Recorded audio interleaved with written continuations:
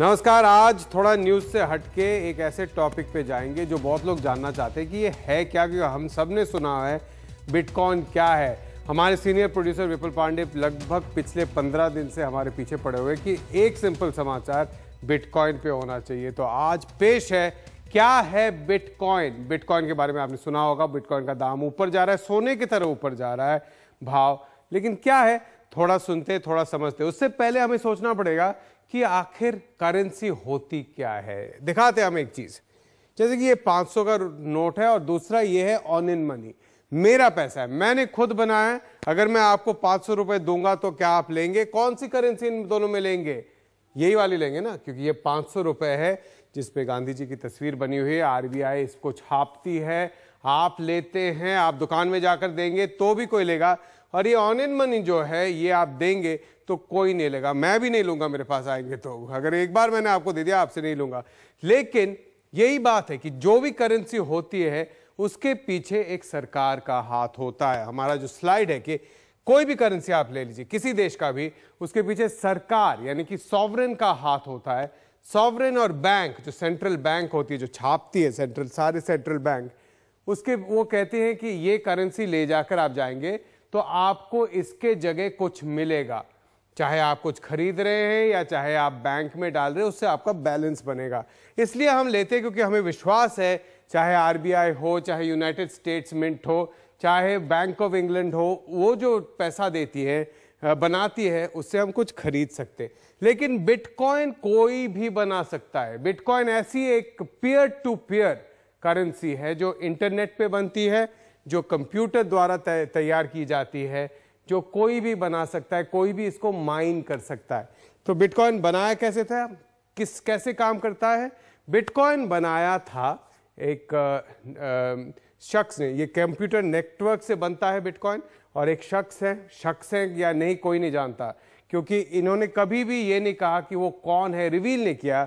इन्होंने एक नाम ज़रूर अपना पोस्ट किया था, सातोशी नाकामोटो। सातोशी नाकामोटो, और जैसे कि रुपए और पैसे होते हैं, सातोशी भी बिटकॉइन का एक यूनिट होता है इनके नाम से। लेकिन आज तक कोई नहीं जानता सातोशी नाकामोटो है कौन। बहुत सारे लोगों ने शोध करके निकालने की कोशिश की है, लेकिन पता नहीं सातोशी नाकामोटो एक आदमी है, एक पूरा ऑर्गेनाइजेशन है, बहुत सारे लोग हैं।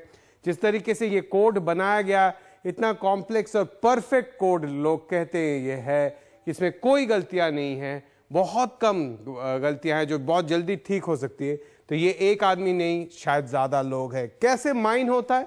आप जानते हैं, मिंट में किस तरीके से पैसे बनते हैं, छापे जाते करेंसी। लेकिन ये माइन कैसे होता है? बिटकॉइन एक कोड है, एक डिजिटल डॉक्यूमेंट है। जैसे आप वर्ड फ़ाइल बनाते हैं, एक्सेल फ़ाइल बनाते हैं, आपकी कोई ईमेल भेजते हैं, उस ईमेल में एनक्रिप्टेड होता है। आप जिसको भेज रहे हैं, वही पढ़ सकता है, उसी के पास जाता है और आप ही के अकाउंट से जाता है। उसी तरीके से बिटकॉइन माइन होता है, बिटकॉइन के पीछे भी दो की होते हैं, एक आप भेजने के लिए और एक की आपको रिकग्नाइज करने के लिए।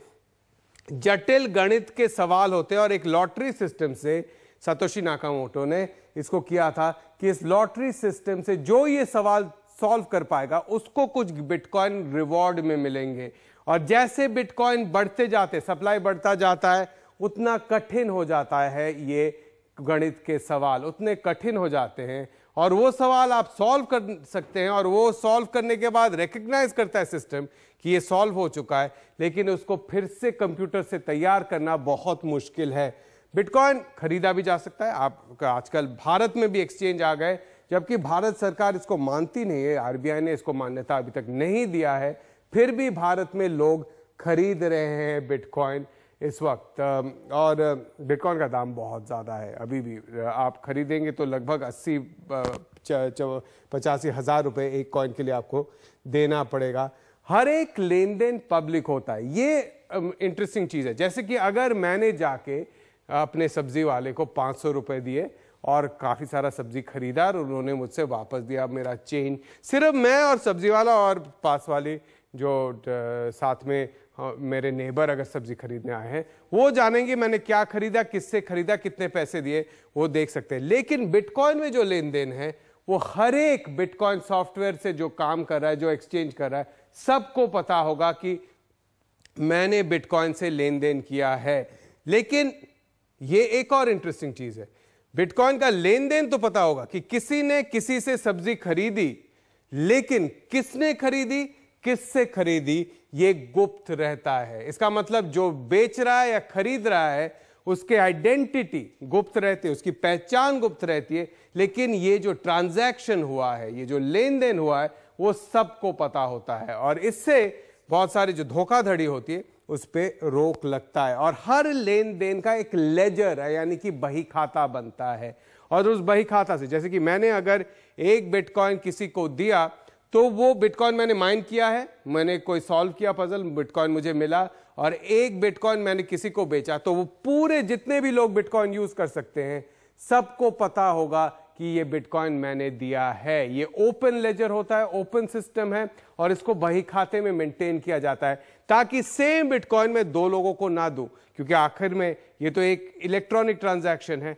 और इसमें कोई इंटरमीडियरी नहीं है। जैसे आप जब एन e से ट्रांसफ़र करते हैं या क्रेडिट कार्ड यूज़ करते हैं तो कोई बैंक होता है या वीज़ा होता है मास्टर कार्ड होता है वो इसको वेरीफाई करता है। लेकिन बिटकॉइन में वेरिफिकेशन करने वाले जो लेजर मेंटेन करते हैं जो बही खाता मेंटेन करते हैं वो बिटकॉइन उनको दिया जाता है रिवॉर्ड के तौर पे ट्रांजैक्शन कॉस्ट के तौर पे कि उन्होंने ये मेंटेन किया है। और ये एक, एक और इंटरेस्टिंग बात मैं कहता हूँ एक बार इस पर रोक कर कि जो बिटकॉइन का जो लेजर मेंटेन करते हैं, जो सबसे लंबा हिस्ट्री दिखा पाता है बिटकॉइन का, उसी का लेजर माना जाता है। क्योंकि साथ में बहुत लोग लेजर मेंटेन कर रहे हैं। जो सबसे ज़्यादा एक ही बिटकॉइन का हिस्ट्री दिखा पाता है कि इससे ए से बी तक गया बी से सी तक गया सी से डी तक गया, वो पूरा मेंटेन करा जाता है। वही उसी का लेजर माना जाता है और उसी को कुछ बिटकॉइन ट्रांजैक्शन के तौर पे मिलते हैं। तो बिटकॉइन जैसे मैंने कहा, आप सवाल जवाब देंगे तो बिटकॉइन आपको मिलेंगे, आप बिटकॉइन खरीद सकते हैं। और बिटकॉइन के ट्रांजैक्शंस जो हैं, जितने भी लेन देन हैं, उसका बही खाता मेंटेन करने के लिए भी आपको रिवॉर्ड मिलता है। और बही खाता मेंटेन होने से ही धोखाधड़ी पर रोक लगती है। लोग कहते हैं कि बिटकॉइन का कोड इतना कठिन है कि उसको हैक करना बिल्कुल नामुमकिन है, क्योंकि इतने सारे कंप्यूटर साथ में मिलके बिटकॉइन से ट्रांजैक्शन कर रहे हैं लेजर मेंटेन कर रहे हैं, कि उसमें अगर आपको कोई भी रिकॉर्ड बदलना हो, जैसे कि अगर बही खाते में आप देखेंगे, एक के बाद एक रिकॉर्ड होते कि इस दिन इतना बेचा, इस दिन इतना खरीदा। अगर आपको कोई भी रिकॉर्ड बदलना होगा तो उसमें दिख जाएगा। तो यही बात है कि इसको रोकना। अगर ऐसा कोई भी ट्रांजैक्शन फ्रॉड हुआ तो उसको हटा दिया जाता है और बिटकॉइन गायब हो जाता है। तो बिटकॉइन में कहा जाता है कि हैक करना नामुमकिन है। एक इंटरेस्टिंग हम बात कहते हैं कि सातिशो, सातोशी नाकामोटो ने बिटकॉइन टोटल 21 मिलियन, यानी कि दो दशमलव एक करोड़ टोटल बिटकॉइन बनाए हैं। और वो 20 साल तक 2009 से, यानी कि दो तक 20 साल में दो 2.1 करोड़ 21 मिलियन बिटकॉइन रिलीज़ होंगे धीरे धीरे ये एक इंटरेस्टिंग चीज़ ये है कि बिटकॉइन जैसे रिलीज़ होते जाएँगे इसका मतलब बिटकॉइन की सप्लाई लिमिटेड है, वो कम होती जाएगी, हर साल कम होते जाएँगे कम नए बिटकॉइन। लगभग कैलकुलेशन के तौर पे बताया जाता है, अभी 14 से 15 1.4 से 1.5 करोड़, डेढ़ करोड़ के आसपास बिटकॉइन मार्केट में ऑलरेडी आ गए हैं, और उनका ट्रांजैक्शन हो रहा है। और इसके चलते बिटकॉइन का अगर आप देखेंगे, सोने के भाव बिटकॉइन बिकता है। अगर 2009 में जब बिटकॉइन रिलीज़ किया गया था, उसका वैल्यू था ज़ीरो डॉलर कोई बेचता नहीं था, कोई खरीदता नहीं था बिटकॉइन को। 2010 में भी वो एक डॉलर नहीं पहुँचा। लगभग बत्तीस पेंस तक पहुँचा था। और 2010 का अगर आप देखेंगे तो आप कह सकते हैं लगभग 18 से 20 रुपए का बिटकॉइन था। लेकिन अब कितना हो गया? पिछले पाँच साल में बिटकॉइन का ग्रोथ कितना हुआ है? सत्तासी हज़ार प्रतिशत। सत्तासी हज़ार प्रतिशत ग्रोथ हुआ है पिछले पाँच साल में 2012 से 2017 तक, आज तक। अगर हम वही देखें रुपए के तौर पे, अगर पाँच, पिछले पाँच साल पाँच साल पहले आप सौ रुपए डालते बिटकॉइन में, अगर सौ रुपए का बिटकॉइन आप खरीद पाते तो आज सत्तासी हज़ार रुपए का होता वो बिटकॉइन। आप देख सकते कि कितना पैसा बनता आपका। सौ रुपए, सत्तासी हज़ार। हज़ार रुपए मतलब आठ दशमलव सात लाख। एक लाख रुपए मतलब सत्तासी लाख रुपए आपके पास होते बिटकॉइन बिटकॉइन अगर आप 2012 में खरीदते पाँच साल पहले। वह 2012 में पाँच साल पहले भारत में बिटकॉइन मिलता भी नहीं था। बिटकॉइन एक्सचेंज भी बहुत कम थे और सिर्फ़ वो कोडिंग में जो लोग थे वही लेते थे। बताया जाता है कि सातोशी नाकोमोटो के पास वन मिलियन बिटकॉइन है और वो गायब हो गए हैं इंटरनेट से। धीरे धीरे वो रिलीज़ करेंगे और उसका वैल्यू अभी बिलियन डॉलर से ज़्यादा है, लगभग दस हज़ार करोड़ का बिटकॉइन उनके पास है। लेकिन बिटकॉइन ये सब एक दूसरे को तो दे सकते हैं आप। क्या कोई लेता है? क्या आप जाकर कुछ खरीद सकते हैं बिटकॉइन से? आखिर बिटकॉइन से असली लेन देन होता है या नहीं? ब्रेक के बाद आपको बताएँगे।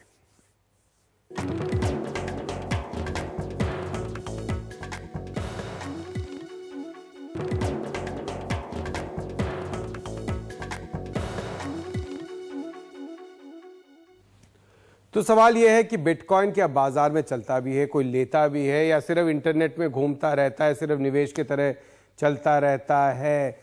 सबसे पहला रिकॉर्डेड जो ट्रांजैक्शन है लेन देन है, वो एक पिज्जा खरीदने के लिए बिटकॉइन को यूज़ किया गया था। ये बताया जाता है कि किसी ने बिटकॉइन खरीदा और उससे पिज्जा खरीदा। ये पहला रिकॉर्डेड बिटकॉइन का ट्रांजैक्शन यानी कि लेन देन है। लेकिन अभी दुनिया भर में एक लाख से ज़्यादा व्यापारी बिटकॉइन को एक्सेप्ट करते हैं। और आप देखेंगे जहाँ पे अगर इंटरनेशनल कहीं पे बिटकॉइन एक्सेप्टेड हियर व्यापारी लगा के रखते हैं और आप अपने ऐप से पे कर सकते हैं, उनको बिटकॉइन में दे सकते हैं। बड़ी कंपनियाँ भी धीरे धीरे बिटकॉइन यूज़ एक्सेप्ट करने लगी है। इनमें से डेल है, जो सिर्फ़ पहले उन्होंने अमेरिका में शुरू किया था बिटकॉइन एक्सेप्ट करना, अब यूरोप में भी शुरू कर दिया है। पेपैल एक्सेप्ट करती है बिटकॉइन माइक्रोसॉफ्ट से आप माइक्रोसॉफ्ट के सॉफ्टवेयर वगैरह खरीद सकते हैं बिटकॉइन देकर। और यूएस में कुछ ऑनलाइन जो शॉपिंग नेटवर्क्स हैं, वो भी बिटकॉइन एक्सेप्ट करती हैं। तो बिटकॉइन धीरे धीरे बड़े बड़े कंपनियाँ भी एक्सेप्ट कर रहे हैं। तो बिटकॉइन सिर्फ़ निवेश नहीं है। खैर हाँ बिटकॉइन अभी भी सबसे बड़ा, इसका जो कारण है कि इस तरीके से बिटकॉइन का प्राइस बढ़ गया है, दाम बढ़ गया है, इसका सबसे बड़ा कारण यह है कि लोग निवेश कर रहे हैं बिटकॉइन में। डाल रहे हैं ताकि बाद में इसका दाम बढ़े और जिस तरीके से लोग सोना खरीदते हैं, उसी तरीके से बिटकॉइन में निवेश करें लेकिन बिटकॉइन पर कई सवाल भी धीरे धीरे सामने आ रहे हैं। सबसे बड़ा सवाल इसलिए है क्योंकि एक इन्वेस्टिगेशन से देखा गया है कि यूनाइटेड स्टेट्स और यूरोप में ड्रग्स का लेन देन ड्रग्स का गैर कानूनी इलीगल व्यापार online drug sale heroin cocaine जैसे ड्रग जो नशीली पदार्थ है, उसका लेन देन बिटकॉइन से हो रहा है। क्योंकि जब से, जैसे हमने पहले आपको बताया था कि बिटकॉइन में जो खरीदता है और जो बेचता है, उसका, उसकी पहचान सामने नहीं आती है। वो पूरी की तरह अनोनिमस रहते हैं। उसको आप नहीं पता कर सकते ये कौन है। इसलिए ड्रग्स का व्यापार हो रहा है। भारत में एक ऑनलाइन हैकिंग हुआ था एक कंपनी में और वो साइबर अटैक हुआ था और कंपनी का काम नहीं चल रहा था। फिरौती के तौर पे बिटकॉइन मांगे गए और उस कंपनी ने बिटकॉइन खरीद के ट्रांसफ़र भी किए और इसलिए साइबर सेल और पुलिस ढूंढ नहीं पाई ये लोग कौन थे? क्योंकि जैसे हमने कहा कि पहचान करना बहुत ही मुश्किल है। साथ में विशेषज्ञ कहते हैं कि निवेश तो हो रहा है इसमें लेकिन क्या ये एक स्पेक्यूलेटिव बबल है?